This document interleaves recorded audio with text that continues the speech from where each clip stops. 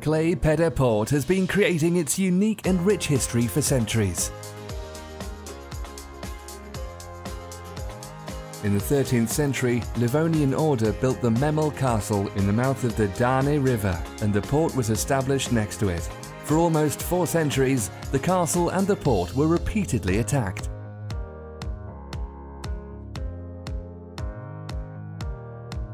In the 16th century, the port was granted a status of commercial port. Thus, the townspeople were allowed to trade by sea and to build ships.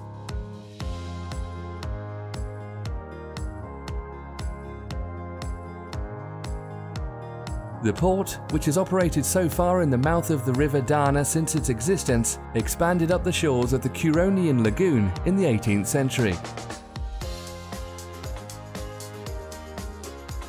In the middle of the 18th century, the port began to flourish when the first timber trade office was founded in Klaipeda. Within 10 years, cargo volumes reached about 40,000 tons.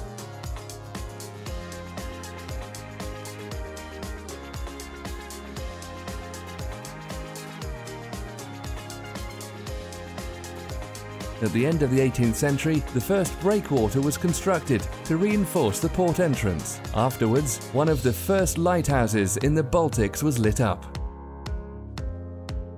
In the 19th century, wooden northern and southern breakwaters were constructed. Trade with Western Europe expanded.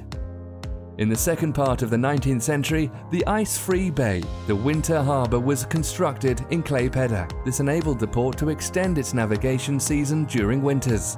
For centuries, until the early 20th century, Klaipeda region had existed under geopolitical and cultural influence of Germany.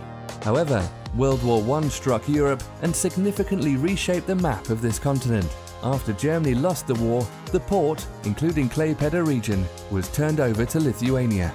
Klaipeda became the major export port of Lithuania. Cargo handling volumes increased from 183,000 to 0.5 million tons per year. The port became a hub of agricultural products, timber, livestock exports. During World War II, the port was severely damaged. The war followed by integration of Lithuania to the Soviet Union the port of Klaipeda became one among the ports of the Union of Soviet Socialist Republics. In 1950, Klaipeda Port Lighthouse was rebuilt.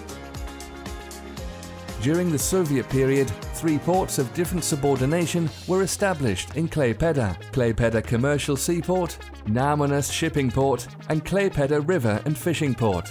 By 1990, cargo turnover increased to 16.12 million tons per year. In 1990, after regaining the country's independence, Lithuania took over Klaipeda port. In 1991, state enterprise Lithuania Seaports Authority was established to assure the efficient management, systematic development of the port infrastructure, navigation safety and implementation of the maritime policy. Over 20 years of independent port operations have shaped today's dynamic and reliable port. Klaipeda became the country's largest transportation hub. Klaipeda Port is a leader in the Baltic Sea, handling over 36 million tons of cargo a year. The state and private businesses are turning a new page in the country's maritime history.